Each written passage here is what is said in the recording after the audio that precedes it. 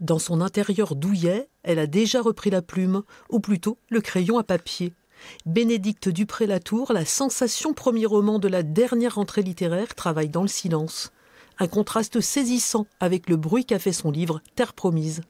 Elle écrit dans son antre un peu partout et remplit des carnets de mots ou de sigles mystérieux, car elle entre en écriture comme dans une obsession.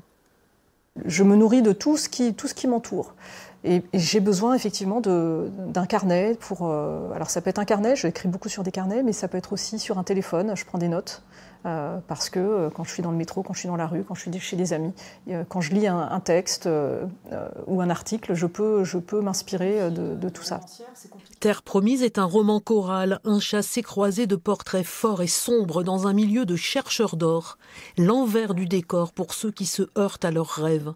Pour écrire avec cette précision d'orfèvre, l'auteur n'a pourtant fait aucune recherche, utilisé aucun autre matériau que son monde intérieur. J'ai des contraintes d'écriture que je me suis imposées. Euh, bien sûr, je vous l'ai dit, de ne pas me documenter, mais aussi d'expurger tout le texte du vocabulaire qu'on peut euh, généralement rencontrer dans les euh, westerns. Donc, vous ne trouvez jamais le terme indien, jamais le terme cowboy. Shérif, ça n'existe pas dans Terre Promise. Il n'y a pas de localisation, il n'y a pas de, de date, donc on ne sait pas où on est, et pourtant on y croit dur comme fer. Retour à la librairie lyonnaise du Tramway, la première à l'avoir invité pour une lecture. Le roman reste le plus gros coup de cœur de la libraire, plus de trois mois après sa sortie. C'est un livre qui ressemble à, nul autre. Euh, premièrement, par la plume, c'est extraordinairement bien écrit. On a l'impression que chaque mot est à sa place, chaque virgule est à sa place.